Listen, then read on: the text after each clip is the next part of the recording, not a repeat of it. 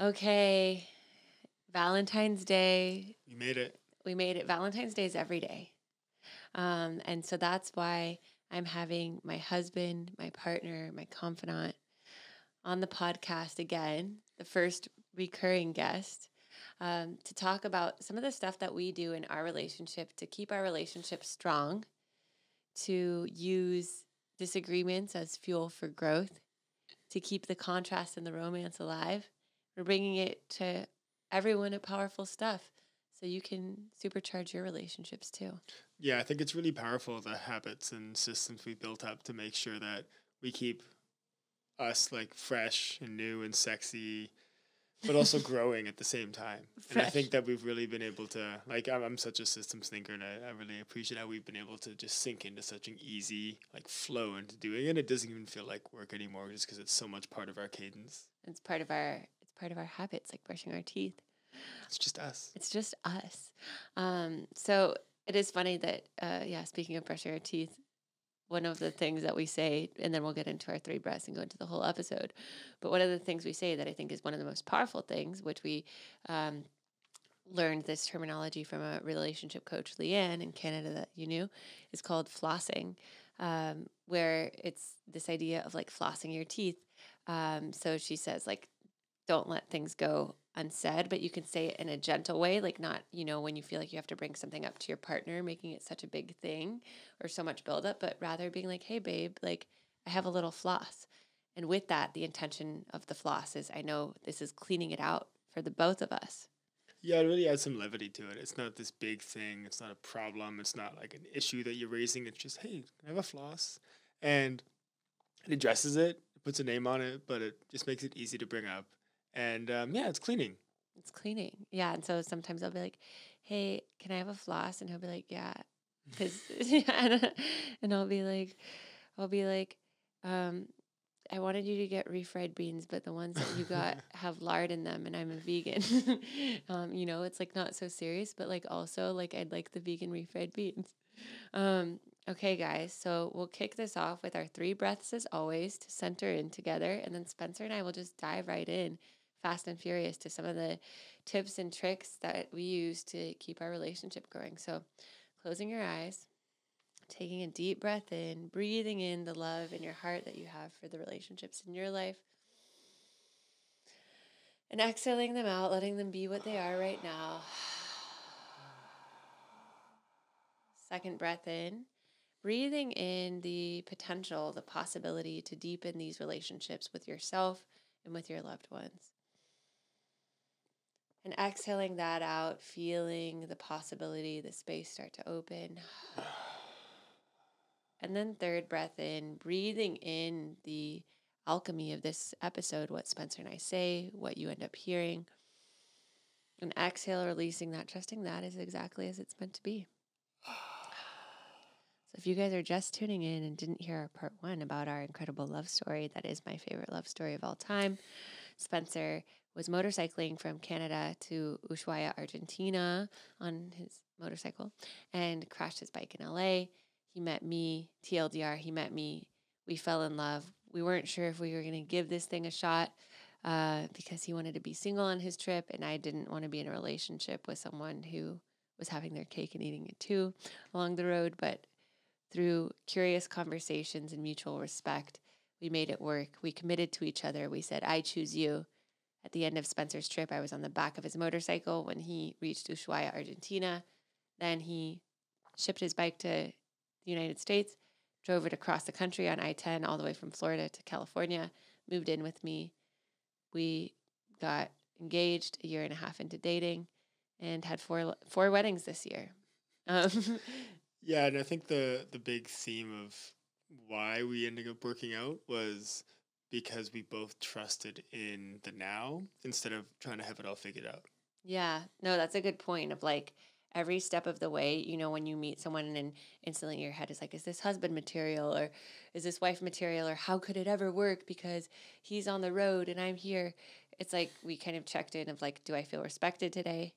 Am I learning today? And um, are we growing together? Mm-hmm. And if all of those were answered yes, then like let's proceed and then we can check in tomorrow rather than like the when then game of like what's going to happen when he goes on the road and I'm here. Yeah, and we, I think we both see like some of our single friends sometimes, and we see them going through the thought process of like, oh, this doesn't make sense right now, or oh, this and that, and it just, uh, I think we both just like, okay, I learned that lesson already. Like that's not that's not how to evaluate these things. So I'm glad we got there. I'm glad we got there too, because I think that if I had done that with you, I would have probably given you an ultimatum that would have scared you because you were so set on like not feeling like your freedom was being compromised on your trip. And I think because I was presenting like, hey, this is what feels good for me. This is what I need to feel safe and free. Like, how do you feel about that? And I actually gave space for you to answer that. Mm-hmm. Yeah, and that that space was really like appreciated by me. And I, like I recognized the way that you approached that was so um, tactful and, and so honest at the same time. So yeah, I think we've made a lot of the right decisions, and that's what's got us here. And I think everybody wants to know how we stay our best. How we stay our best ever. Well, yeah, and I was going to say one of the things that we started doing while you were on the road mm-hmm. um, was having weekly date nights. So, yep. Two things, especially if you're in a long distance relationship or if you're starting out long distance, it's like we always knew when we were going to speak to each other each week mm-hmm. uh, because then it took the wonder out of like, oh my gosh, am I going to call him this week? Or if I didn't hear from you that much, like over the course of the week, I know like Wednesday is date night, and we would both carve out our our Zoom schedule for that. And we'd uh, this is yeah context. We were separate, like physically, geographically, but we still had it in our calendar one night a week. We'd always call together, and we kept that even when we moved in. And we're in the same location. Um, anybody listening, the first most actionable thing, if you take anything away from this podcast, is do a weekly date night. It's not every month, it's not every day. A week is a great cadence for it. Put it in the calendar, respect it, and what we do with it is each person we we um, alternate. alternate. planning it. So one person plans it, the one person one... pays for it, and uh, the other one just has it booked off. Oh, where are we going? Yeah, okay, you get to be in, in total car. like receiving mode and entering into the other person's world. So it's like, oh, if my boyfriend doesn't like this or uh or or he's never been exposed to that, it's like then that your date night is your opportunity to like invite them into your world. And have fun with it. And have fun with it. And so we did that in our long distance thing. And the last thing I was gonna say about long distance stuff too is we always knew when we were gonna see each other next. Mm-hmm. So we never whenever I did meet up with you out and then we can circle back to date night. But whenever we did meet up, like if I was with you in Tulum, it's like I knew okay, I'd meet you when you were motorcycling in Colombia.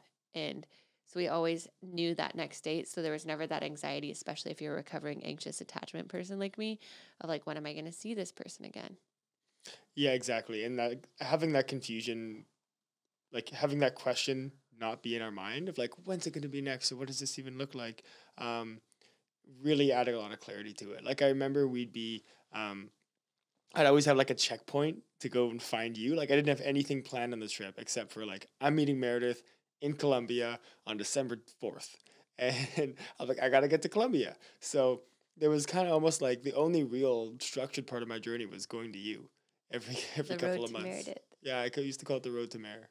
And yeah, and I felt that that those like letting allowing the freedom to ex- exist within those parameters, uh, both in like uh, you know, like the literal physical location stuff of knowing, um, gave us like such space for like freedom and being relaxed with each other because it removed like it, it removed the guesswork while still allowing it to unfold into what it was.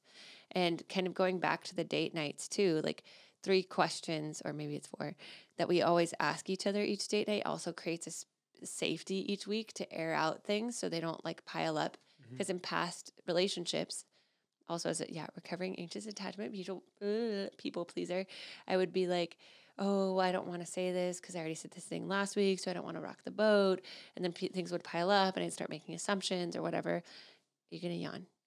No, I can see when you're trying to swallow your yawn. Um, but yeah. Anyway, so we ask, what did I do last week that you loved? So we start off with acknowledgement.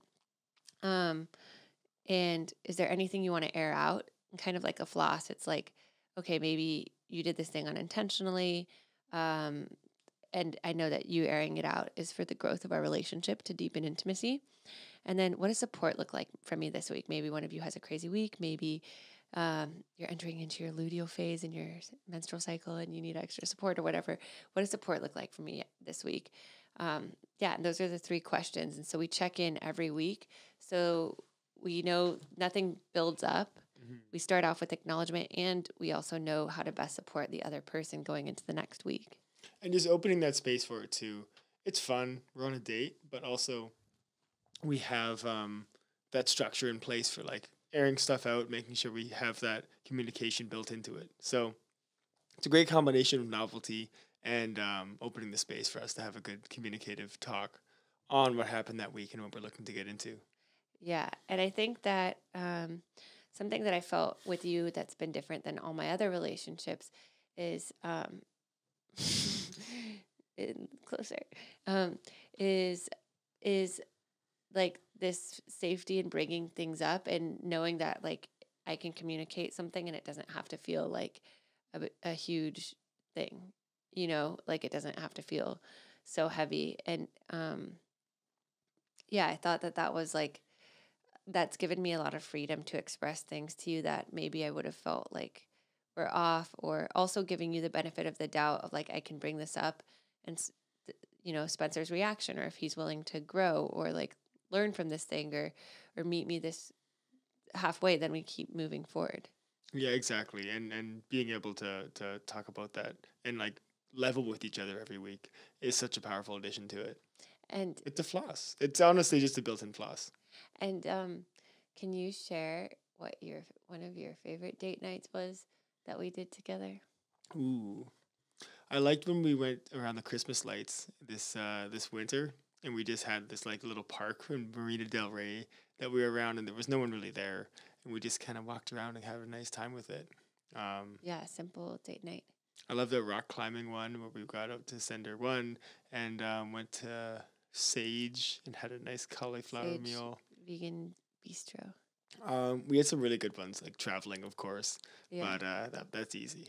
Yeah, no, I like those too. And the thing with date nights is like uh, regardless of who's planning it, you can do ones where it's like it costs money, or you could do like a night hike, beach walk. Yeah, and something else that we do that I think is also like nice on date nights when you carve out that time for sensual intimacy at the end, and something that I felt like made us comfortable with each other intimately is like exploring different things like tantra and like where the the goal isn't the orgasm and uh, where you can just like tell your partner how you like to be touched or like sitting with them. Maybe you're like declothed but you're just like like eye gazing or or or talking and and it's like this kind of like yeah taking the pressure off of like this peak experience around sensuality which i feel like has made us like overall more intimate in the small moments throughout the day as well. Yeah yeah like one time we just uh, learned how to massage each other for date night yeah. Well, like, yeah. And by massage, we even mean just like a standard, like just how massage. a masseuse does yeah, it. Yeah, like, yeah, we like watched a, a YouTube. yeah.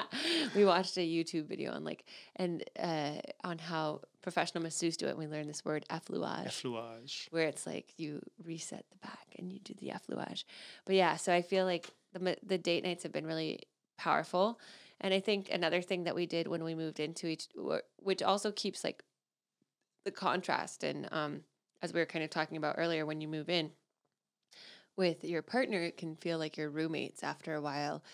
If you know you're seeing each other pee in the bathroom, which I've told Spencer, I was like, please don't pee in front of me at the house. Not that I like don't mind it, and I haven't I've seen it done before, but I feel like it does keep some of that like romance when we're like, oh, like you know, like not kind of treating it like a frat house. Yeah, close the door when you're in the washroom and and yeah, and kind of like keeping that mystery as like it's someone new that you're dating that you want to like you know, impress. Impress. And not that you have to have that, you know, sentiment all the time, but I feel like in the those little moments it kind of keeps the contrast as does the date night. But something else that we did that our friends Sarah and Scott recommended mm. was read this book called Fair Play.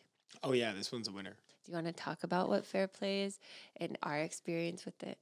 So there's a certain number of things that have to happen when you're in a house. Someone has to do dishes, someone has to take out the garbage, someone has to buy groceries. Like it, it can be different people, but like there's these things have to get done.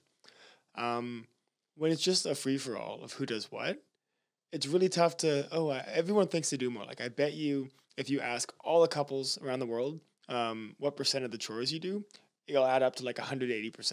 Like both people think they're doing almost everything. Right. So what this does is just divvies up the work in a very clear way, saying what you do is you, you start with all the tasks that have to get done. You just list them out. There's like 30, list them out. Um, garbage and dishwasher and watering the plants and fixing like problems with the house and electricity payments and bill stuff. Like list all those out and then you put them as cards. And what you do is then you sit down and you each take a card one at a time until you have an equalish amount. And then at that point in time, you you every single time, if you are the garbage taker outer, um, you take out the garbage every single time. And if the garbage is full, it's your job. And it's really clear who does that. But likewise, you know that when the um, sink needs cleaning, that's what your partner does. So when you've broken it down like that, and there's the accountability piece to it, uh, you can really balance out the chores, and nobody feels hard done by. There's no hard feelings with it. It's just not it's another thing that you have to talk about as a couple. off the plate, and then you can just adjust it. But it's little tweaks. You're yeah, like, little tweaks of like, hey, like this one is your fair play. Like Spencer does the groceries, so I'm like, could you get these these things instead, or like, or don't wait till we're like absolutely out of zero food to like order the next round of groceries. So you can like offer that for that person's fair play as they can for you for yours. Yeah, but it's yeah, fair play is amazing. It's such a great way to really balance out who's doing what and making the house chores feel like such a non-problem. Yeah. And so I feel like that's been really great. And I think some of the other stuff, like now to kind of, we've talked about some of the easy, low hanging fruits that we've done in our relationship, which we're really proud of. And we have a beautiful Notion board that Spencer's, uh, you know, me being this emotional, visionary being and him being an, an organized systems and structure man, he made us a Notion board As one does. with like best selves and our bucket list and our space and things we still get to do as a couple. Um, but um, yeah, some of the other stuff that's been uh, stuff that we've worked through, and you know, I think I saw this quote once on a relationship Instagram that's like, um, you know, like you're in a relationship with someone, you fight, you uh, like it's messy, like it's chaotic, you're you're confronted, and then it's like these are the healthy relationships. Good luck. and and I do believe that's true. Like uh especially with us like each disagreement where it's like it could be so easy to walk away and we like recommit like no i'm figuring this out with you. I'm not going anywhere. I feel like that does deepen like that level of commitment and knowing like we have chosen each other. And it's like yeah also we're married um but it's like that recommitment each time there is like a disagreement or not seeing eye to eye of like this sucks and i'm not feeling heard and you're not or you're not feeling heard and we're going to work through this and we're still going to stay. And that's been like so powerful and like while still being confronting you know Yeah, it just demonstrates that commitment that we have for each other, and um, even when it's hard, even when it's frustrating, we can still make it happen. And well, yeah, and I think like there was um like a longer standing issue like last year that we worked through uh in regards to traffic laws and how Spencer drove my car in ways that I found like stressful. Um and he didn't think he didn't see why I was like he didn't see why it was such a big deal. And then I was getting triggered because it kept happening. And I was like is he listening to me? Um and it was it was like a point of contention for a few months when it was like a repeated thing. And i think like what we did to work through it is like well we started going to couples therapy and and i do believe even in going couples therapy is just a way of keeping the channels clear. Yeah, it's a great. because they're basically like a mediator helping you make sure you hear your partner and not just trying to make like this is my point and my like we are on the same team like we're on the same side of the table. So i feel like he helped you understand well do you want to say what he helped you understand in our situation? He just helped me connect like safety with um, how you like safety being such a high priority for you, and that when things make you feel unsafe and they were repeated, like it, it makes you lose trust. Yeah. And I felt like finally like that getting through to you and your commitment to work on it, even though you weren't doing it, is what ended up, yeah, giving fire to our relationship and um and deepening it on the other side of that too. Um of like that different layer. And I try to when I have called one of my best friends, Sarah, who talks me through some of our relationship stuff, um, understand like why is Spencer still doing this or like I told him this, like why why is this still happening? Like to continue to approach it with curiosity and not not to feel personally attacked, but to like return with even more curiosity for you of like where is this coming from? What happens when you do that? And like and, and trying to pull back the layer to understand you more versus like trying to prove my point and vice versa. And so I think like part of our work, which we're not perfect at still, but we're getting better and we're committed to it every day, is like slowing down the conversation Mm-hmm. and um, really trying to hear what our what we're saying and why that is the way that it, that is. Yep. Where is that trigger coming from? And not making it like um, a, an attack on the other person's character, but being like, hey, this is what I need to feel safe, making it into a request. Is this something you're willing to do for me? Mm-hmm. And then it's like not making it right or wrong or my way or your way, but it's like, hey, this is my my preference or this is my request. Are you willing to meet it? Right. And yeah, understanding that, like, yeah, uh, are you open to hearing this right now or should we move? Like, we we we can do interrupts as well when, like, if something's not getting across, if a point's not being made. Um, I think we both recognize the power of an interrupt and just to reset your state so that we can then approach it with love and the type of attention we want. Yeah. Sometimes like I had a thing like last weekend where like a little trigger came up and like I found myself shutting down and like when I shut down I feel like I just want to like run away and be on my own and Spencer came um or I came back inside the house cuz we live together so it's not like I can do that like Spencer's home when I get home. And uh he just like was like let me like hold you you know? Um it's okay like are you sad? And I was like that's all and he's like okay, like, you know, what does it feel like to be sad? Like, which I also think was like progress from your end because I think that just acknowledging me and acknowledging my feelings and holding me and not trying to rationalize it or make it a solution or being, you know, how sometimes men can be like, what's the solution? Or like, just let's just skip to the end here.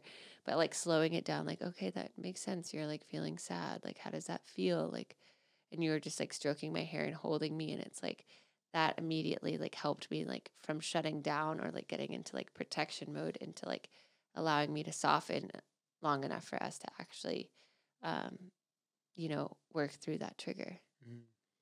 which was powerful Yeah, no, it's important to, and also just understand how each other, like, how we both receive feedback and receive information when we're feeling any given state. yeah well and then one thing that we do we'll talk touch on some of the stuff we did for our wedding on a ceremonial level of like preparing for it and then one one thing we do with our quarterly offsites um Another big tip. Oh yeah, another big tip. But before we do that, I will say on the trigger thing and receiving feedback, we've had a few funny moments, which I do want to share. Um, is like once uh, last Valentine's Day, actually. Speaking of Valentine's Day, Spencer gave me a Valentine card in Yeah. the in the morning with stationery that I had bought. Like he like it was like I bought this Pendleton stationery just to like have for like friends' birthdays and stuff. And then on Valentine's Day, he hands me a letter written to me on Pendleton stationery that I bought. And, you know, old Meredith would have been passive aggressive or been kind of annoyed. And I was like, okay, rather than just like resent him, I'm going to set him up for success. So I, I, I got the, he handed me the card. And cards are like thoughtfulness and is important to me. And I know he is thoughtful, but sometimes guys just need a little direction. So I was like, hey, I really appreciate you writing this. I noticed it's on my stationery. Um, it's really important to me that you go out and like pick a card that makes you think of me, or or and, or like Valentine's Day, just that extra effort that like you got it for, and it wasn't a last minute thing. This is the morning you have, you know, the whole day ahead of you. uh, I'm not even going to look at this card. You can write it on the new card. And I handed it back to him. And it was a moment. Yeah. What, it, what was, what was going on in your head in that moment when I gave you that feedback? Well, I was like, wow, this is um, great boundary setting, but also like, okay, time to get a card. You know, you made it really clear what I need to do. So, I mean, I just wrote the same thing On in the other card. I knew it wasn't the gesture. Yeah. It was just the, the medium. Yeah. And then he wrote a great, or the same great poem, but on a, di- on a different card, which Valentine's Day is coming up. So Yeah. just note. Forewarned. Um, and then another thing that you love that I incorporated, or that like with feedback, um, before we get to the last two things, is um, when you were kind of being like, dare I say, what we talked to before with each other before, like kind of projecting on me and my professional journey based on where you wanted to be on yours, because we both are going through this like, you know, exciting but nebulous like moment of like up leveling our businesses and I felt kind of like unseen by you in the stuff that I was doing in the different areas of my life because I felt like you were like this intense like soccer coach pushing me to do more. And um it made me feel like even though I want to expand and, and rise I like want to do so at my own pace and I want my husband to be like my cheerleader not like my soccer coach. Hmm I've never played soccer, but like, um, anyway, so I told you that. And then for our date night, you want to say the one with the candles and like the stuff in the jar, like what you were. Right. Yeah. So you were feeling unseen by me, and um, I think just a couple things in life happened around then. So you were in a bit of a low, and like like you know a week low. So I was just like, I want to bring Meredith up today. So I know you you were out for a while, so I bought you a bunch of candles, and um, I put on pieces of paper all the different things that I see in you, like all the different versions of Mara that I know you to be. So like there's like the performer, there's the coach, there's the visionary, there's the traveler, there's the storyteller, and I had like like twenty. And what we did was we um, I lit a candle for each one, and I had them all laid out, and like I had you to like draw one from the the bowl and then light a candle, and that would be like representing of it. Yeah. So I, I I got to see all angles of you, and then I wrote a um. I made a card, uh, so that when you got in the door, it said like you're invited to the celebration of Mare. At Yeah. home. Yeah. At like home. a, like a Broadway uh, pamphlet or what are those things called? Yeah, just yeah the Yeah. Uh, but yeah, so it's like, uh, wow, I felt like seen and above and beyond. And I feel like those moments, uh, kind of going back to that relationship coach, Leanne, she says some, or, and I might butcher this, but she said like for each, um, you know, it's not about couples who don't make it. It's not necessarily about the love not being there. It's that for the fractures that happened, there wasn't a repair. Because so often we can just like ignore the fracture or swallow it or let it slide or whatever. And we never say what we never say and get clear on what we need to feel like that has been repaired. And so I feel like taking that and the flossing from from a, our few sessions with her, um, you know, I feel like that um, that candle example is a perfect example of a repair. Like I told you, like this is a fracture, and I am going to need a repair. Or like with the driving stuff, like not only did we do couples therapy, but I said that's part of the repair. Part of the repair is you going to your own coach for a few sessions and figuring out what um where this is coming from. So I feel like that's been another thing too of like either of us saying like this has been a fracture and here's what a, here's a repair that would feel good for me. So it's not just calling the other person out, but then doing our, our own internal work and communication of like this is what I need to now feel like this has been cleared. So we're not holding on to things from the past. I think that's a big one too. Is both of us understanding when things feel cleared and when things feel like properly addressed. Yeah.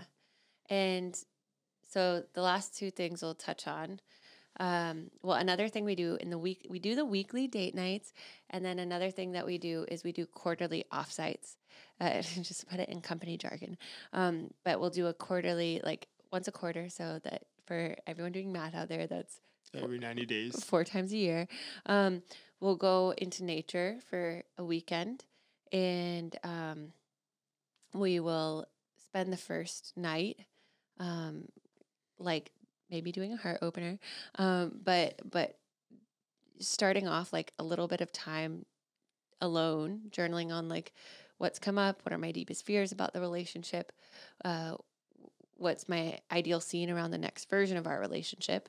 And then after like 90 minutes or two hours, we come back together and we share like what are our deepest fears or like things that have come up.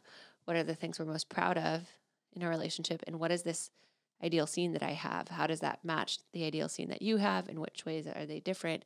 And then we spend the rest of the night like talking about our relationship.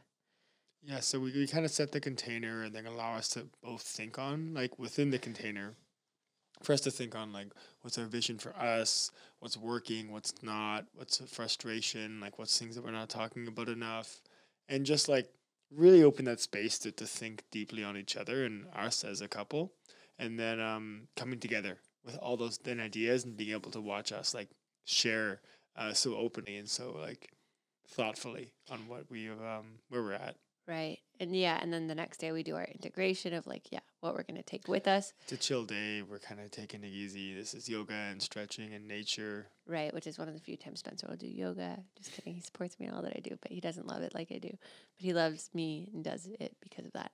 Um, but yeah, so he'll do an integration day. We'll do an integration day where it's like, okay, we had those musings last night. A lot was said. Like, how are we actually going to uh, implement this into our lives? And so, yeah, and so we do that the next day and then kind of do that every quarter. And I think some really great things have come from that. Definitely more clarity around the safety and freedom, especially when it comes to the rules of the road. And also this idea of holding each other to each other, mm-hmm. which was that which came from our one in Topanga, which is like this idea of holding each other um, to um, the version of each other that we know that we want to be. The version of each other that we know that we wanted to be, but doing so in a loving way, like kind of gently reminding, being like, I love you and I know you're going through this emotion or this experience. And I'm still holding you at your best even when you're feeling at your worst. Mm-hmm. And and just being there to gently hold the mirror. So that's been really powerful. Um, yeah, just other fun things that that I'll just throw in and then we can talk about or, or kind of capstone just of like yeah, what we did um, before the wedding and, and wrap it up. But um, so other things that we do that I love is each of us will take solo trips um, to kind of in our own self inquiry each year alone. So we come back and we're constantly like learning new things about ourselves. Like I went to Hoffman process, you, then you went to a Hoffman process. You're in Still Life's program now. Um, I have my own coach. I think it's like as couples, not just going to couples therapy, but also doing your own work mm. and having your own experience and having your own friends and and then some things we curate together. We're like we really want to get to know these people, and so we'll have intentional not just dinners with other couples or invite other couples that inspire us or we want to get to know to game night, but we'll also like invite individual people over um, that we want to get to know. And Spencer and I like love kind of as a couple like growing in deep different friendships together. Yeah, exactly. And having our own friends, but also like shared friends and shared experiences and just having our own lives. Yeah. Put it simply. Uh yeah, and so one of the last things that we'll touch on before we get into the medi um let's talk about monthly routine.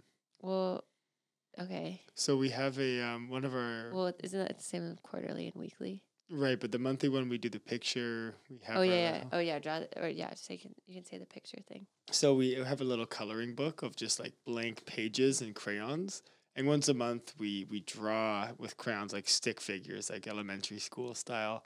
Um, we draw our favorite memory from the month. Yeah. So that'll be like you know obviously our wedding was in there, our Burning Man, or like trip to you know Colombia Christmas and stuff, but just like things that happen, you know. Uh, we have our like favorite a, scene from the month, and then we have since the month we met like scenes ba- that we've dra- drawn with Crayola crayons. Yeah, so we got a lot now, but uh, yeah, we had to do it once a month, and we um, and we talk about it, and we both sign it, and we both co co create that. yeah. So there's treasured memories in that book. Treasured memories, um, and then yeah, the last thing we'll touch on is like because I feel like this is indicative of all the kind of experiences we like to lead together is our wedding uh, we led a fe- or we led a festival wedding. We created a festival wedding together. For you guys who don't know, I have a whole episode on like the details of what we did with my um, my old co-host Eileen. We had a festival wedding uh, near a pistachio farm, space cowboy theme Friday night, Burning Man style. People brought gifting. We crushed it. It was gluten free vegan. We had our friends DJ. We had like poolside DJ sets. Um, we Yeah, had you had, you had to be there. Yeah, you had to be there. We had connection moments. But so, something that Spencer and I did before that, which I really loved, is like going into the wedding. And this is just an example of like going into any like situation of high emotion with a, a partner. Is before the wedding, we had our own intimate ceremony at our house.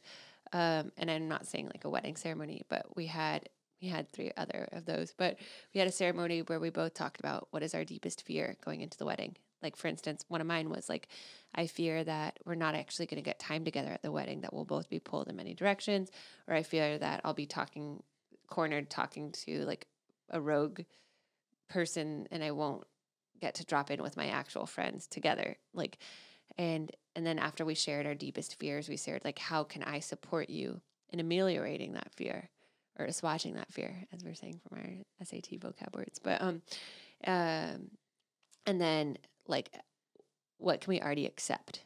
Like maybe there was a decision that was made, maybe their guests were already invited. What can we accept and release, like control over? That's already it is what it is. And then, what is our best case scenario for the wedding? and what is the feeling that we want to have in that best case scenario and how can we just stay connected to that feeling and release the the the vision of what that best case scenario is and just stay connected to that feeling. So even if something does go awry we're centered in that feeling. Like when when i thought it was going to be a fully gluten-free wedding because i'm a celiac and found out that they put real bread out there. And i was like i mean it like sucked because i am like super super allergic. Um, and as a bride you wanted to feel like it like everyone was getting to eat like you for the weekend, but I was like, I'm not gonna like let this throw like throw a wrench in like th- that feeling that I'm connected to with Spencer. So we got really clear on that before the wedding, so we knew how to like support each other Mhm. during the wedding, and we also were like, we're here to like create this memory together. Which ties into ceremon- ceremonialize everything as well. Yeah, which ties into ceremonializing everything. So Spencer is is, is so good. um, good job. Um, we ceremonialize everything, and uh, not to sound like a Venice cliche, but I do think it's like coming with what we were saying in this episode of like slowing down the conversation, really listening to each other with curiosity, um, and to ceremonialize. It's like, what fear can I release, or expectation can I release? Um, what is, yeah, what is my ideal hope or manifestation for this and what is yours and what's the best thing that could happen and how can we like lean into that right now and in the gratitude of what already is Mhm. kind of coming back to that feeling coming back to that gratitude and we've done that for a wedding we've done that for my birthday we've done that for your birthday we've done that for the, the full moon ceremonies that we've hosted for our friends uh, we've done that before or after like one of us did something big for the first time like my stand up uh well, the first time i performed stand up and it's just like these little connective moments we have to like help each other process things along the way Mhm. which i feel like is really powerful It's a great, great habit. So, should we wrap up all the actionable things that people can do to to yeah keep their relationship hot? yeah and the one other thing that uh i'll say um and maybe we'll just end with like a one minute little centering medi moment but the one last thing i'll say that's really helped me a lot in my relationship with you and with other people is um and, and it came out because of you but my old uh, coach victoria song who's also amazing uh, when i was having a communication kerfuffle with you in our early days she gave me this framework called alpha to help me um, center my conversation with you which now i love sharing to everybody. So shout out to victoria. Um, so it starts with A, which is acknowledgement. So, like, firstly, acknowledging the other person. Like, Spencer, I know that you love doing XYZ so much for us, and I really appreciate that. The L is the long term vision. I see us both being able to, like, uh, add to this in a way that feels like energizing for the other.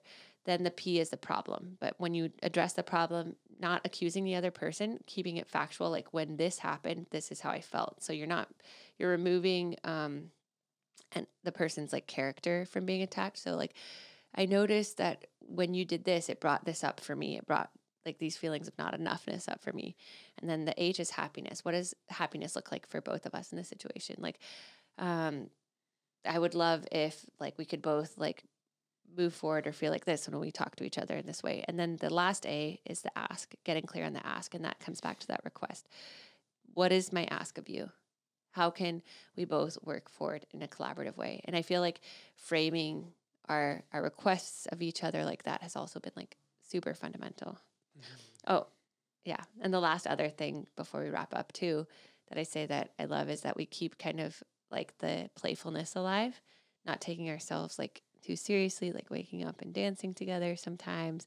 And then we have an inner child shrine in our cuddle den. We have a cuddle den with like fuzzy blankets and a disco ball, and we put photos of our inner child there. And so it's like whenever we like start our inner day, we like see those photos of our younger selves and like let's like stay like playful for that. Yeah. Oh, one more thing. Um, every night before we go to bed, we say one thing we love about each other. Oh yeah, that's true.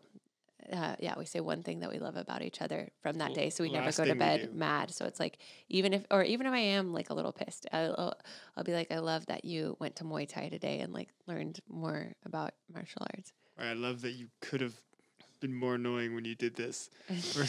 Yeah. mad, but, but it just forces us to kind of break that whatever and also to end with acknowledgement. Oh and then the last thing that we also do is we each have one line a day journals where we write like Mhm. all the good things that happened that day and then we share them with the other person. And because they're five year journals we can see like what we did the year before and the year before that.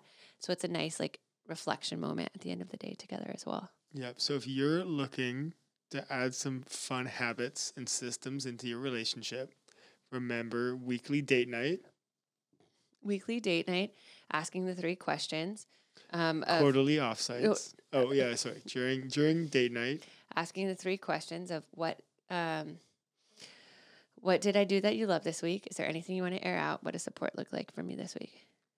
quarterly offsites, Quarterly offsites and then um ending or ending the night with um acknowledgement and gratitude, flossing, flossing when things come up, uh dividing the the chores so you can remain Fair.